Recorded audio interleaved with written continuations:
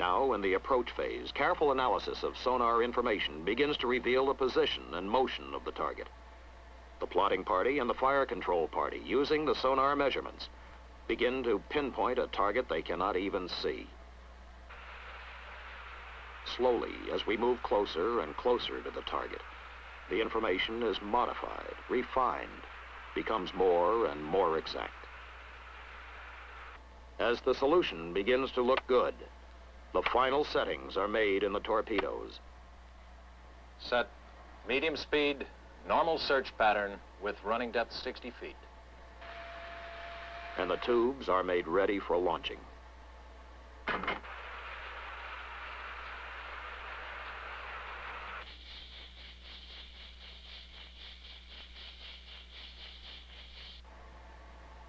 How does your solution look, Mr. Green?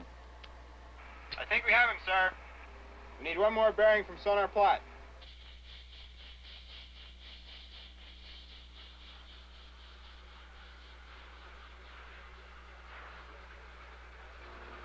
Con sonar, contact has secured snorkeling.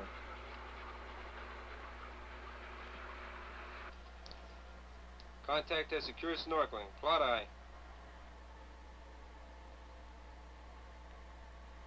Con sonar, contact is, is cavitating. Sounds like he's going deep.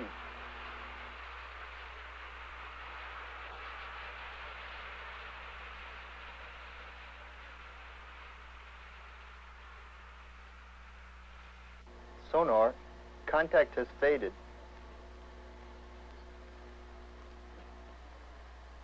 Sonar, shift to manual tracking and search 30 degrees around last contact. Sonar aye,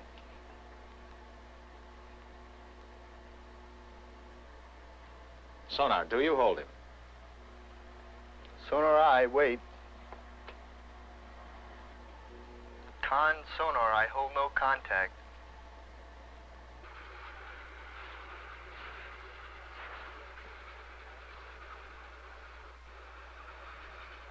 Sonar holds no contact. Plot aye. All stop. Rig ship for ultra quiet. Roger. All stop. Set condition ultra quiet. All stop by. I'll stop. I'll stop. Answers all stop. Mr. Krieger, take the con. I'm going below. Aye, sir. Aye, the con.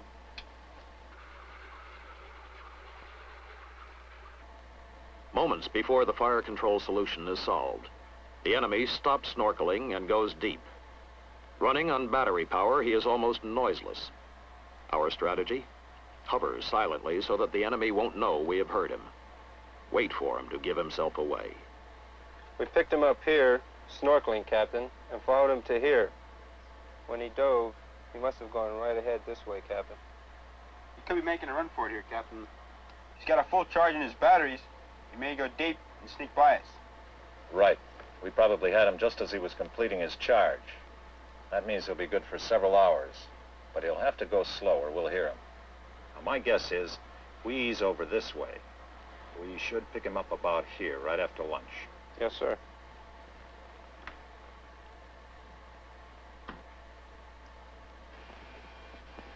Mr. Thatcher, come right to 200 degrees and make your speed three knots.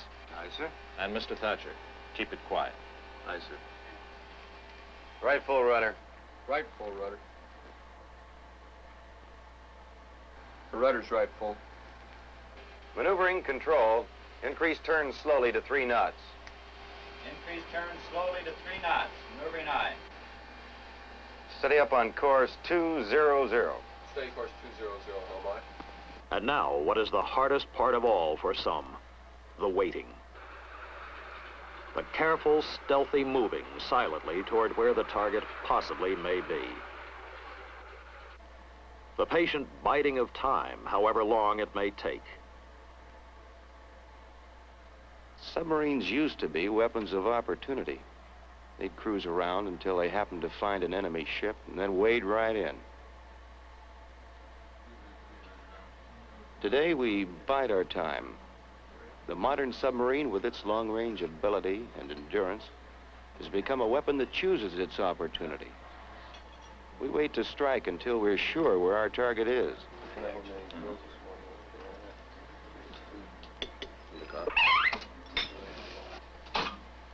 Captain. Pass the word to man battle stations. I have him again. Snorkeling. Same contact we had this morning. Let's get him this time.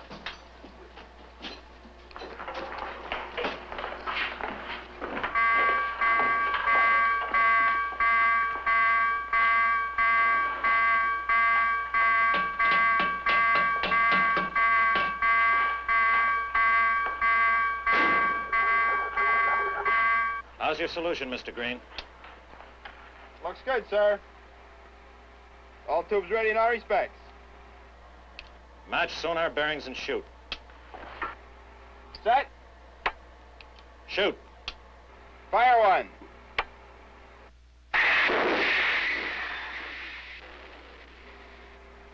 Set. Shoot. Fire two.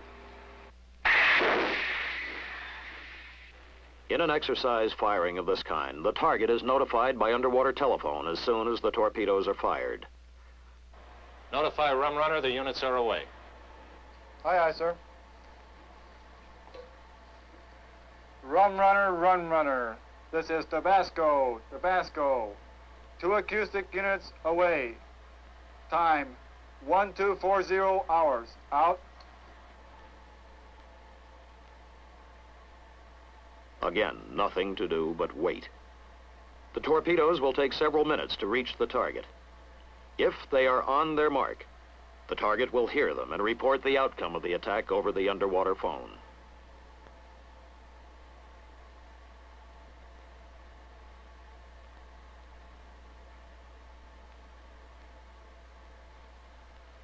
Tabasco, Tabasco. This is Rum Runner, Rum Runner.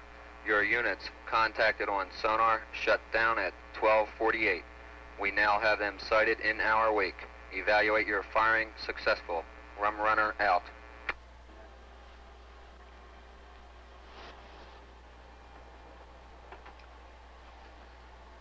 For these men, the successful completion of this mission, even though it was just an exercise, is of most critical importance. For they are practicing the skills they may someday be called upon to use in earnest, skills upon which a great deal may depend. They are working in a new dimension, under a new discipline, and armed with a host of new technologies, which even the visionary builders of America's first submarine, the Holland, could never have imagined. Nuclear power, revolutionizer of naval strategy, giving birth to what had never been possible before, a true submarine. And the accessories which interlock to make the modern nuclear submarine the finest and most sophisticated weapon system in the fleet. The newest and finest sonar equipment, fire control systems computerized and automated, plus the silent propulsion systems and hydrodynamically streamlined new hull shapes, which provide stealth, speed, and maneuverability.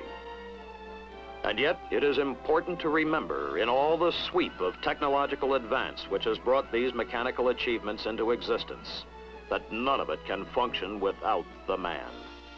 The basic element of military capability, said a prominent naval officer, is man, individual man with his personal dignity and his pride. No matter what machines, what weapons evolve, they will be the product of man. Man will maintain them, and above all, man must control them. Today, a new breed of forward-thinking men maintain that control over one of the most powerful and sophisticated weapon systems, which stands in defense of the free world. They are the submariners.